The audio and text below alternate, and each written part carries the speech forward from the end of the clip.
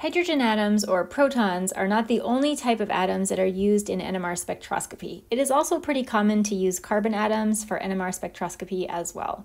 I do want to point out that carbon NMR and proton NMR are two different types of instrumentation, meaning that you cannot get a spectrum, an NMR spectrum that has both carbons and protons at the same time. You either obtain a carbon NMR or you obtain a proton NMR, one or the other.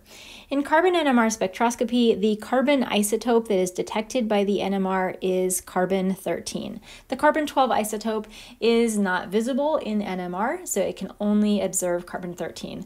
And unfortunately, carbon 13 only accounts for about 1% of all of the carbon atoms in the universe.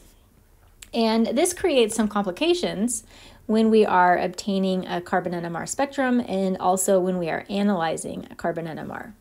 So, first of all, because only 1% of all the carbon atoms in the universe are carbon 13, it's pretty unlikely that we will have two carbon 13 atoms in the same molecule.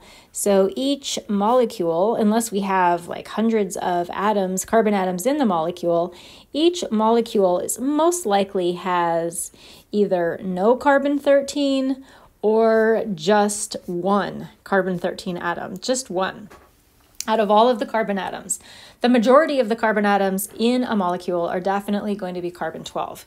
Because each molecule has no or only one carbon 13 atom, this means that it is not possible for us to get any splitting in a carbon 13 NMR spectrum.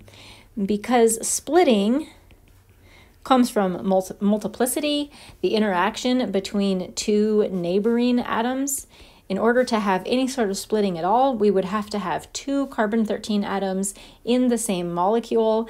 Um, and since that is extremely unlikely, there's just no splitting taking place at all. In addition to that, we do not get any meaningful integration in a carbon NMR spectrum. There just isn't enough data in a carbon 13 spectrum to get good a good, reliable ratio of the different types of carbon atoms in a molecule. And so this means that if we're running a basic carbon NMR spectrum, all that we can get from a carbon NMR spectrum is the number of types of carbon atoms. All the peaks are going to look like singlets, just the number of types of carbon atoms, and that's very useful information, and also information about the shift due to the presence of electronegative atoms nearby. So it's not regular carbon 13 NMR is definitely not as valuable as proton NMR because we don't get any splitting and we don't get any integration. But carbon 13 NMR does give us some useful information, especially when we use it in conjunction with proton NMR.